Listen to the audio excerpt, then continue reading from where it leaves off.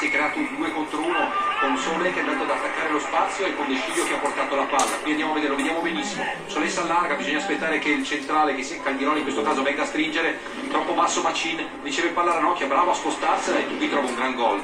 È stato molto molto bravo. Vediamo Sole che scarica per il compagno, che si sposta la palla, è stato il primo controllo che ha fatto la differenza, se l'è portata sul suo piede sinistro che non è il suo piede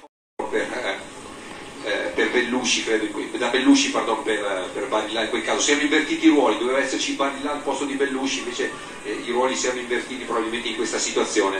Eh, questa palla ha messo in difficoltà il compagno ed è stato molto bravo Kuluseschi poi a, a, a segnare. Questa palla che è andata a, Pedro, a Pereira a, nella zona sinistra, gran cross e gran inserimento da parte di Colpani che è stato perfetto nell'inserimento nei tempi di gioco e soprattutto nel mettere questo pallone secondo palo.